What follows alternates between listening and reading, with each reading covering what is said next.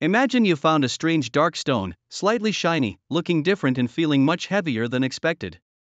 The first question that comes to mind is it a real iron meteorite from space, or just an ordinary rock from Earth?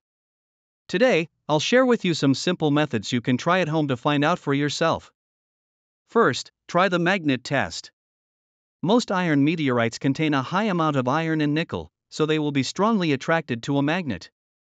But remember, some earth rocks like iron ore are also magnetic, so this is only an initial indicator. Second, check the weight and density.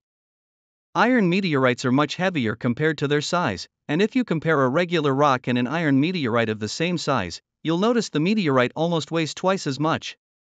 Third, look at the outer surface.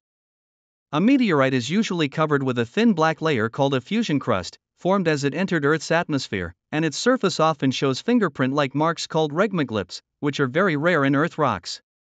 Fourth, try the scratch or spark test.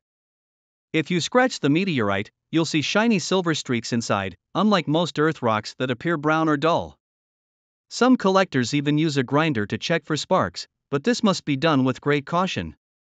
Finally, there's the rust test. Iron meteorites contain a lot of iron, so over time and with moisture they begin to show small rust spots, while ordinary rocks don't rust in the same way. All these methods are simple and safe to try at home, but they are only early indicators.